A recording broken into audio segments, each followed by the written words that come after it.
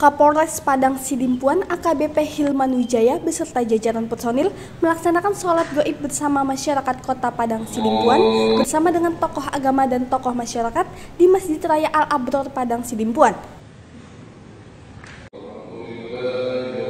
Sholat goib dilaksanakan sebagai bentuk bela sungkawa atas terjadinya bencana gempa dan tsunami yang menimpa saudara-saudara kita di Palu dan Donggala.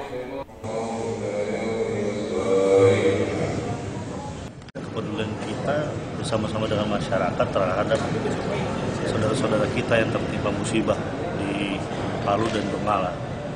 Jadi sebagai bentuk daripada rasa simpati kami, kami melaksanakan sholat gaib bersama-sama dengan masyarakat. Sekaligus nanti besok hari kami akan melaksanakan kegiatan penggalangan dana dari masyarakat Kota Padang Sidimpuan untuk para korban bencana. Ada berapa personil yang kita libatkan dalam kegiatan ini?